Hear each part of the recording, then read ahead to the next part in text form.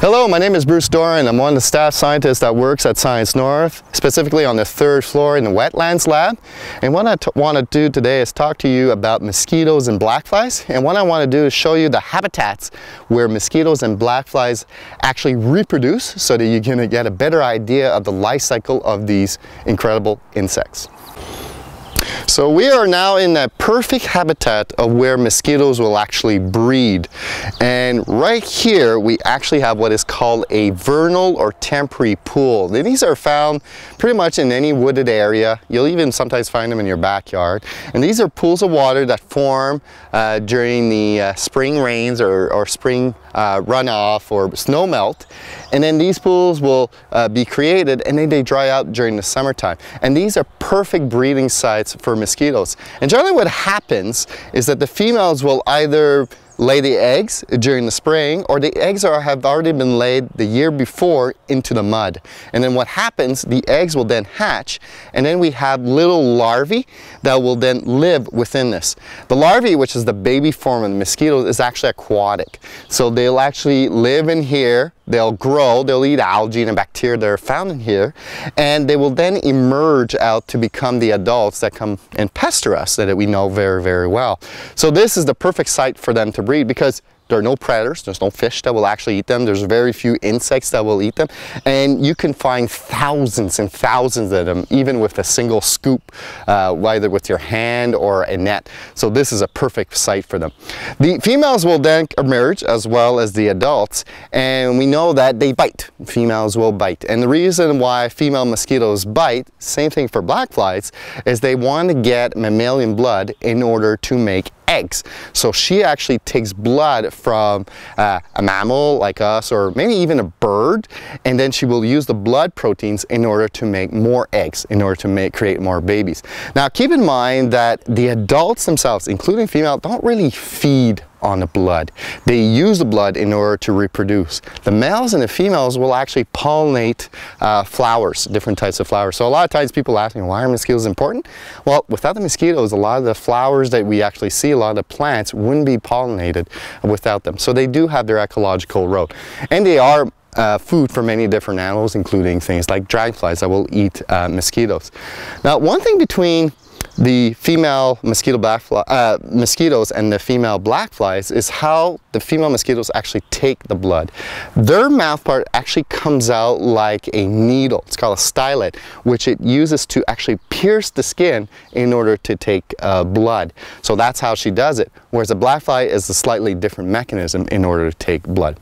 So it's kind of hard to control mosquito population, especially when you have things like this all over Ontario, all over people's uh, you know land and things like that. So it's quite difficult to control mosquito population in this case. What people can do around their house is to empty any containers that might have water in them or to flush the water out on a regular basis so that the female mosquitoes don't lay eggs and uh, have larvae to actually grow in them. So there are things you can do around the house in order to control uh, mosquito populations. This habitat right here, the stream, is actually a great habitat for black flies. So unlike mosquitoes that live more in these vernal pools and stagnant pools, black flies love creeks. They love moving waters. And they actually start their life in here in this type of water. And what happens is that the larvae, the babies, will attach themselves to the bottom, usually rocks, and they will filter any particles that actually go through. And they actually have these mouth parts that we call cephalic head fans that are actually like little filters, little sieves that will actually collect little particles in the water and then eat them. And usually what happens is the larvae will actually overwinter, they will stay in the water over the winter, and then they will come out as adults in early spring. And that's why we tend to get the black flies in early spring. What the females will do is that they will lay eggs in the stream during the summer and the fall. These will hatch and then the larvae will then grow during the remainder of the uh, summer, fall season, and the winter in this type of uh, stream habitat.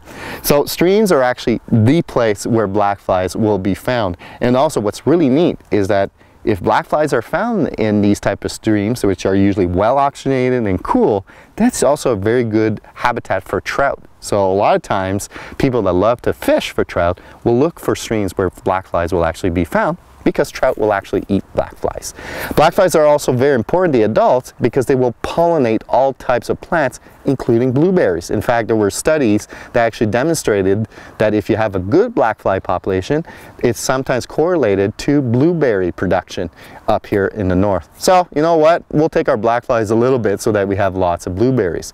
Now, the females black flies, just like mosquitoes, will bite us, will bite humans and birds and other mammals and mammals uh, in order to get blood in order to produce eggs. Now, unlike the mosquitoes, their mouth part isn't a piercing mouth part, but it's actually a cutting mouth part. So what they actually do is they cut the skin and then the other mouth part is like a sponge where they actually lap up the blood in order to get blood in order to produce eggs. So just like the female mosquitoes, she needs the blood in order to produce more babies. Now, there's not really much we can do to really control black fly populations like mosquitoes around our homes because whatever we do in this type of habitat will affect many other organisms in here including a trout that people like to, uh, uh, to uh, fish. So generally what I tell people is that it's not a good idea to affect streams, not a good idea to put anything in streams because it could affect all types of populations of different organisms. So if you see a nice stream like that, yes, you will get black flies, but keep in mind good habitat for certain fish like trout and also would probably be a good, uh, good area if you have blueberries to have a good blueberry population or production. As you can see, these two types of insects reproduce and are found in habitats that are quite, quite different. Stagnant habitats or creek habitats. Now, there are things you can do to protect yourself against getting bitten by these two insects. One thing you could do is to wear light color clothing like I'm wearing right now. Another thing you could do is actually wear DEET, okay? That chemical compound. Now, keep in mind, if you're an adult, you can get wear DEET that's about 30%. That's usually quite effective. But for children, it is recommended that they use a much lower percentage of DEET, 5 to 10%, and even young children under the age of 5, it's usually recommended not to wear DEET. Now, what you can do in that case is wear protective clothing. Wearing clothing where you're covering your face and your arms, you can actually wear um, bug suits. They actually sell bug suits and they're actually quite effective against those insects. So these insects are found here in Ontario, pretty much throughout Ontario and we must live with them. They are really important ecologically and there are things we can do to protect ourselves against this. So next time you go out for a walk, just think about where these insects come from and how they make part, how they are part of our ecological system.